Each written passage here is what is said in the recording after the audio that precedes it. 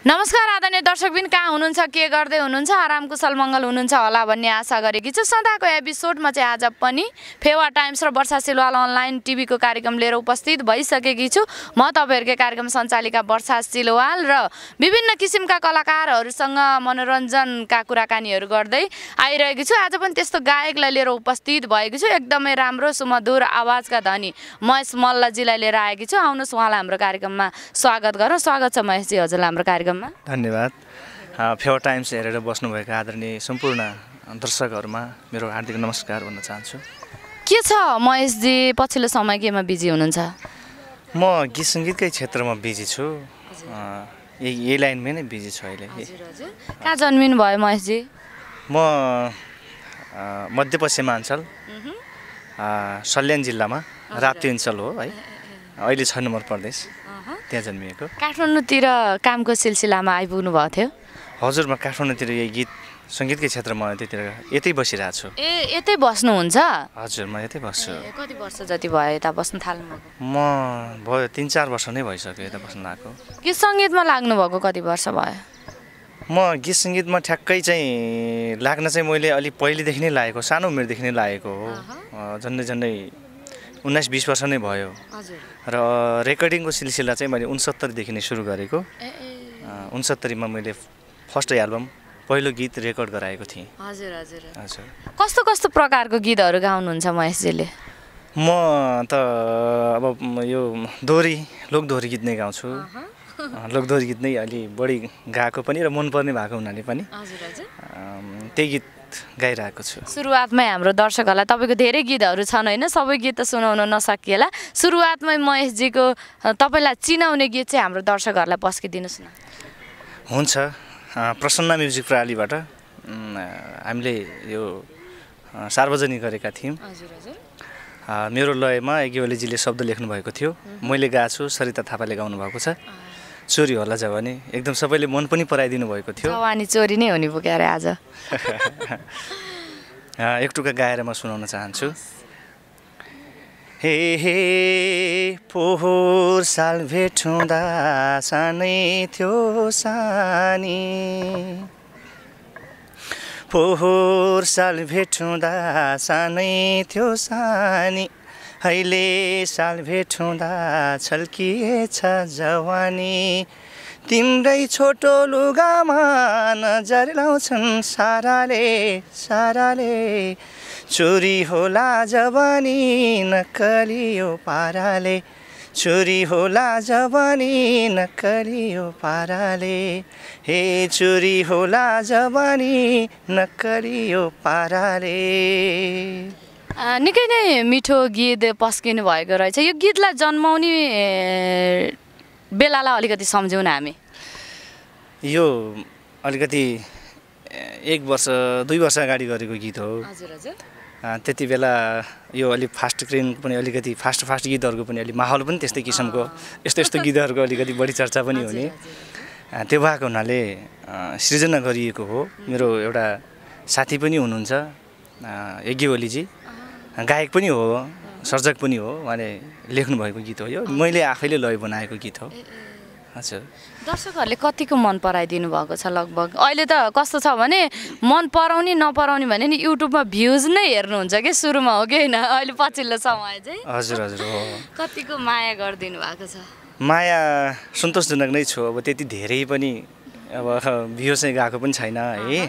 र त्यति कमै भएको पनि होइन ठिकै छ। दर्शकहरूको श्रोताहरूको मलाई माया गर्नेहरूको एउटा साथ सपोर्ट छ र यहाँसम्म छु भन्नुपर्छ। हजुर हजुर। सुदूरपश्चिमको मान्छे हुनुहुन्छ होइन? अब हाम्रो यो काठमाडौँ भ्याली वरिपरि चाहिँ अलिकति अर्कै टाइपको गीतहरू तपाईँहरूकोतिर चल्ने गीतभन्दा अलिक फरक टाइपको गीतहरू हाम्रो ललितपुर भक्तपुर काठमाडौँ नुवाकोट होइन? धादिङ यी जिल्लाहरूमा चाहिँ अलिक अर्कै प्रकारका गीतहरू सुन्नुभयो होला। सायद काठमाडौँ आएर बसेपछि थाहा पाउनु होला। त्यो गीतहरूलाई चाहिँ कसरी लिनुभयो? तपाईँले उता आफ्नो भेग आफ्नो क्षेत्रका गीत अनि यता हाम्रो यो क्षेत्रको यो काठमाडौँ एरियाको गीतहरू यो जुन सिन्धुपाल्चोक जिल्ला यताका गीतहरू सुन्दा तपाईँलाई कस्तो लाग्यो? यो कस्तो हुन्छ भने हामी मध्यपश्चिमको सुदूर सुदूरपश्चिम अलि आ, सात नम्बर प्रदेशतिर पऱ्यो र मैले बुझेको खासमा के हो भने अब हामी त नेपालीहरू होइन धेरै जात जाति भाषाभाषी पनि छ धर्म संस्कृति पनि छ आफ्नो। र त्यो भए हुनाले अब हाम्रोतिर चल्ने भेगको गीतहरू छुट्टै छ। अब सुदूरपश्चिमतिर चल्ने गीतहरू छुट्टै छ देउडा टाइपको छ। र अब यो तपाईँहरूको यता काभ्रे सिन्धुपाल्चोक पूर्वतिर अब यो भ्यालीभित्र अलिकति काठे काठ क्षेत्र अलिक बढी भएको हुनाले काठे गीतहरू बढी चल्छ। र मलाई प्राय नेपालका सबै गीतहरू मन पनि पर्छ र राम्रो पनि लाग्छ। काठ क्षेत्रको गीतहरू पनि मलाई एकदमै राम्रो लाग्छ। कति मान्छेले चाहिँ हाम्रो यताको गीतहरू बुझ्नुहुन्न कि? अनि यो चाहिँ कस्तो गीत होला के गीत होला कसरी उठाउने कसरी इन्डिङ गर्ने भन्ने टाइपको मान्छेहरू नि मैले धेरै मान्छेको इन्टरभ्यूहरू लिएको छु कि? तर तपाईँलाई चाहिँ मन पर्यो भन्ने टाइपको कुराहरू गर्नुभयो एकदमै खुसी लाग्यो मलाई आज। हजुर हो मलाई सुरु सुरुमा सुन्दाखेरि कस्तो अलिकति अप्ठ्यारो अप्ठ्यारो महसुस चाहिँ हुन्थ्यो होइन। तर त्यसको लय जो मेलोडीहरू हुन्छ होइन त्यसको एकदमै मिठो लाग्छ मलाई होइन। मलाई एकदमै राम्रो लाग्छ अब। गाउने मान्छे सङ्गीत प्रेमी मान्छे भइसकेपछि त अब हामीले पनि त पश्चिमतिरका गीतहरूलाई हामीले पनि फलो गरिरहेका हुन्छौँ नि होइन? मलाई चाहिँ कस्तो लाग्छ भने यो हाम्रो गीत सङ्गीतमा लागिसकेपछि म यो भेगको ऊ त्यो भेगको यो पूर्वको यो पश्चिमको भन्ने चाहिँ त्यो चाहिँ हामी कलाकारितामा हुनु पर्छ जस्तो मलाई लाग्दैन कि? त्यो चाहिँ हामी जहाँ भए पनि हामी कलाकार हो हामी जहाँ भए पनि हामी गीत सङ्गीत प्रेमी हो होइन? हामीसँग गीत सङ्गीतको एउटा हाम्रो एउटा सानो मन छ होइन? त्यो गीत सङ्गीतलाई चाहिँ हामीले सधैँभरि फलो गर्नुपर्छ। यो यताको गीत यो उताको गीत भन्ने कुरै होइन नि। हाम्रो राजु परियार दाइले हाम्रो यताको गीत सहजै गाइदिनुहुन्छ। हो ठिक। एकदमै हजुरको विचारमा म पनि सहमत हो। किनभने हामी लोक संस्कृतिभित्र छौँ। हाम्रो हाम्रो मौलिक संस्कृति हो यो। यसलाई जोगाउनु पर्छ र यो अब भेग छुट्याउने कुरा र अब कलाकार छुट्याउने। कलाकार छुट्याउने? कुरा अलि त्यति ठिक होइन र गर्नु पनि हुँदैन र मबाट त्यस्तो भएको पनि छैन। तर एकदमै खुसी लाग्यो मलाई आज। दर्शकबिन आज हामीसँग हुनुहुन्छ एकदमै मिठो स्वरको धनी महेश मल्लजी हुनुहुन्छ। कुराकानीलाई जोड्ने नै छु म। उहाँका धेरै गीतहरू छन्। हामीले यो इन्टरभ्यूभित्र सबै गीतहरूलाई समेट्न नसके पनि मैले अलि राम्रा राम्रा अलि इम्पोर्टेन्ट इम्पोर्टेन्ट गीतहरूलाई जोड्ने छु। यतिखेरको बसाइमा हाम्रो दर्शकहरूलाई कुन गीत सुनाउनुहुन्छ महेशजी? हामी त खास म भनेको मा जन्मिएको ठाउँ अलि टप्पा होइन? सिङ्गारो टप्पा पनि भनिन्छ हाम्रो उतातिर। सायद टप्पा भनेपछि यहाँहरूले पनि बुझ्नुहुन्छ त्यो क्षेत्रमा जन्मिएको मान्छे हामी। दसैँ तिहारमा जब रमाइलो हुन्छ त्यति बेला हामीले एकदमै टप्पाहरू सिँगारोहरू गीत गाएर हाम्रो बुढापाका दिदीबहिनीहरू आमाहरू हामी सबै रमाउने पनि हो। र मैले त्यो रेकर्ड चाहिँ गरेको छैन तर त्यहाँको संस्कृतिलाई एउटा थोरै चाहिँ सुनाउनु मैले चाहन्छु होइन? हामी चाहिँ त्यताको गीत हामी यसरी गाउँछौँ। काचो छन्जी दुवाए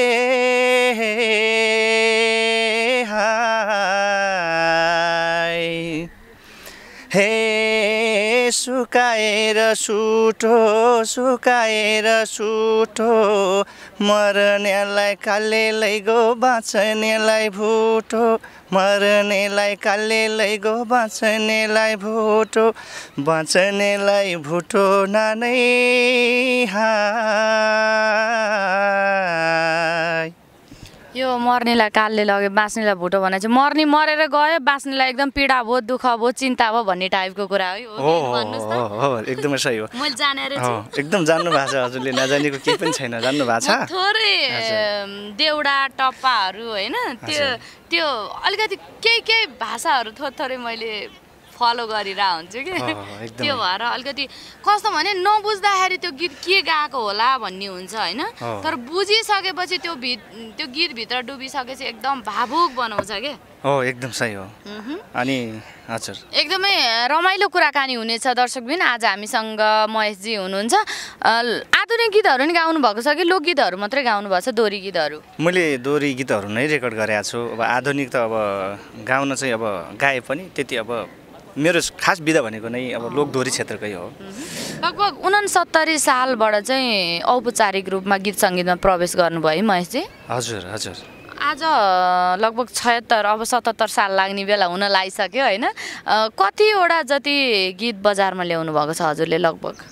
मेरो दुई दर्जन जतिहरू जति गीतहरू चाहिँ बजारमा लिएको छु मैले लोकदोहोरी नै हुन्। केही अब सेन्टिमेन्टल गीतहरू पनि छन्। एउटा तिजको पनि छ। परदेशिनु भएका हाम्रा विदेशिनु भएका हाम्रा आदरणीय नेपाली दाजुभाइ दिदीबहिनीहरूको लागि पनि मैले एउटा परदेशीको गीत पनि गरेको छु। मेरो लय शब्द र स्वर गरेर सबै सङ्ख्यात्मक रूपमा त्यति पुगेको छ भन्नुहोस् न। परदेशी सम्बन्धीको गीत एउटा मलाई सुन्न मन लाग्यो हाम्रो दर्शकहरूलाई सुनाइदिनु मन लाग्यो। मेरो लय हो। मुना थापा दिदीले गाउनु भएको छ र एकजना भाइले पनि गाउनु भएको छ त्यो गीत हामीले गरेका थियौँ। एक वर्ष अगाडि। त्यो सुनाउन चाहन्छु थोरै टुक्का। हा हा परदेशिने मन मेरो थिएन। मन मेरो थिएन। गरिबीले घर बस्नै दिएन। तिम्रै यादमा दिन काट्दैछु। बिरानो यो परदेशको ठाउँमा पसिनाले पैसा साट्दैछु।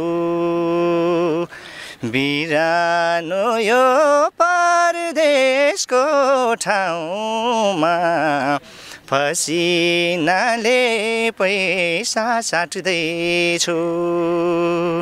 निकै नै मिठो गीत यो परदेशी सम्बन्धी होइन? हाम्रो विदेशमा रहनुहुने दाजुभाइहरूको लागि स्पेसली दाजुभाइ अथवा दिदीबहिनी होइन? धेरै हुनुहुन्छ हाम्रो नेपालबाट बाहिर जाने दाजुभाइ दिदीबहिनीहरू। उहाँहरूको लागि चाहिँ समर्पित स्पेसल मलाई यो परदेशी सम्बन्धी गीतहरू धेरै मन पनि पर्छ किनभने विशेष गरी दसैँ तिहार चाडबाडहरू आउँदाखेरि चाहिँ हाम्रो नेपालमा कलाकारहरूले यस्तो गीतहरू चाहिँ बजारमा धेरै ल्याउनुहुन्छ कि? अनि विदेशमा बसेर हेर्दै रुनुहुन्छ कि हाम्रो दाजुभाइहरू चाहिँ होइन? हो एकदमै एकदमै।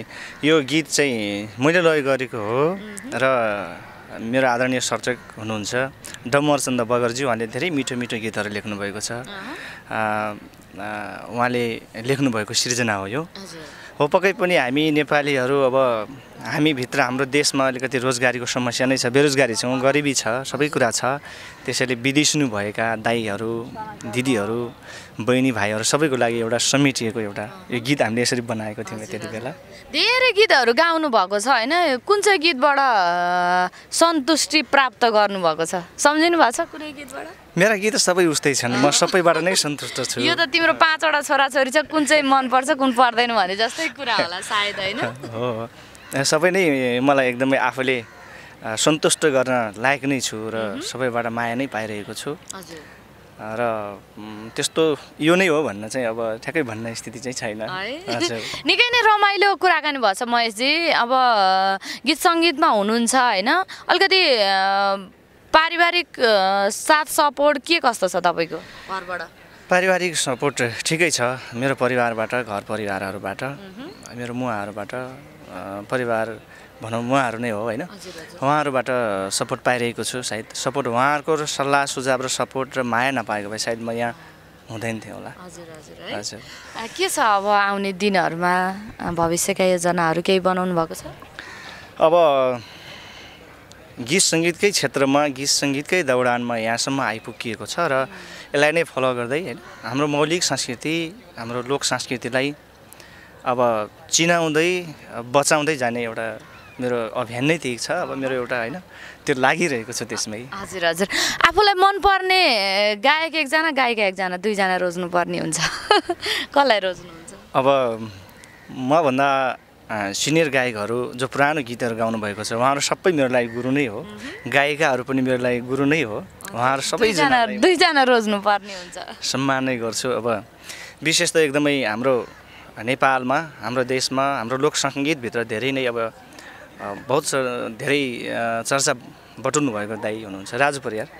होइन? सबैको मुखमा राजु परियार नै आउँछ है। राजु परियार हुनुहुन्छ। उहाँलाई सम्झन चाहन्छु। एकदमै रमाइलो कुराकानी भयो। एकदमै आफ्नो व्यस्तताको बावजुद पनि हाम्रो कार्यक्रमसम्म आइदिनु भएको छ होइन? गीत सङ्गीतमा हुनुहुन्छ हरेक कुराहरू मिलाउनु पर्ने हुन्छ। हरेक कुराहरू गीत सङ्गीतमा दुःख कष्ट हरेक सङ्घर्षहरू गरेर अगाडि बढ्नु पर्ने हुन्छ। अझ धेरै तपाईँले जे जस्तो भए पनि आफ्ना हरेक कामहरूलाई गीतहरूलाई चाहिँ थाँती राख्दै गीत सङ्गीतलाई अगाडि बढाइरहनु भएको छ। तपाईँको गीत सङ्गीतको यात्रा एकदम सफल होस् भन्न चाहन्छु र अन्त्यमा मैले सोध्न छुट्याएका हजुरलाई भन्न मन लागेका कुराहरू आफ्नो दर्शकहरूलाई भन्न सक्नुहुन्छ के भन्न चाहनुहुन्छ? त्यस्तो छुट्टीकै विषय त केही पनि छैन। र मलाई यहाँसम्म ल्याएर एउटा सुदूर मध्यपश्चिमाञ्चलको एउटा चेलो छोरो भाइ होइन र ल्याएर यहाँ तपाईँको यति ठुलो कार्यक्रममा फेवा टाइमसम्म ल्याएर मलाई मेरो गीत सङ्गीत र मेरो यात्रा साङ्गीतिक क्षेत्रको यात्रालाई मध्येमा मैले गर्नु परेका गरिरहेको काम र यो गाइरहेका गीतहरूको बारेमा केही कुरा बोल्न दिनुभएकोमा यहाँलाई धेरै धेरै धन्यवाद दिन चाहन्छु र आदरणीय फेवा टाइम्स हेरेर बस्नुभएका सम्पूर्ण श्रोता दर्शकहरूलाई यहाँको माया ममता सधैँभरि रहनेछ। धेरै धेरै सम्झिएको छु। धन्यवाद। एकदमै धन्यवाद दिन चाहन्छु। यो जुन यो आजको भिडियो तपाईँसँग चाहिँ मेरो भेटघाट गराइदिनुको चाहिँ गराइदिनु हुने एकदमै हाम्रो जनक भाइ हुनुहुन्छ होइन जनक रसाइली भाइलाई म एकदम विशेष थ्याङ्क यू भन्न चाहन्छु। किनभने मेरो एकदम मिल्ने साथी हो मेरो एकदमै बेस्ट फ्रेन्ड हो वर्षा दिदी एउटा इन्टरभ्यू राखिदिनु होला एकदम राम्रो गीत गाउने मान्छे हो भनेर मलाई भाइले धेरै रिक्वेस्ट गर्नुभएको कारणले गर्दाखेरि म आज अलिकति अस्वस्थ पनि थिएँ है अलिक सन्चो पनि छैन। हाम्रो अफिसमा नै सरहरू अलि बिजी बिजी नै हुनुहुन्थ्यो। यो एकदमै व्यस्तताको बावजुद पनि मैले यो भिडियो बनाउने कोसिस गरेँ। उहाँका गीतहरूलाई मन पराइदिनु होला भन्न चाहन्छु र अन्तमा आफ्नो दर्शकहरूलाई कुन गीत छोड्दै बिदा हुनुहुन्छ महेशजी? मैले मैले लय गरेको गीत हो यो पनि। मेरो गोपाल परियार भाइ हुनुहुन्छ र सङ्गीता सोनाम बहिनी हुनुहुन्छ उहाँले गाउनु भएको छ र डम्बरचन्द्र बगरज्यू आदरणीय सर्जक फेरि पनि सम्झिन चाहेँ उहाँले लेख्नुभएको गीत हो यो। सेन्टिमेन्टलै छ त्यही छोड्न चाहन्छु। बाध्य भयो लेख हुन नपाए नि दुई मुटु एक हुन। हजम्बरी माया गरिरहन्छु। यो जुनीमा सँगै भई जिउन त पाएन अर्को जुनी तिम्रै भर परिरहन्छु। यो जुनीमा सँगै भई जिउन त पाएन अर्को जुनी तिम्रै भर परिरहन्छु। हस् थ्याङ्क यू फेरि भेट्ने बाचा गर्दै आजलाई भने हाम्रो फेवा टाइम्स हेरेर बस्नुहुने सम्पूर्ण दर्शकहरूसँग बिदा माग्न चाहन्छु। हस् त नमस्कार।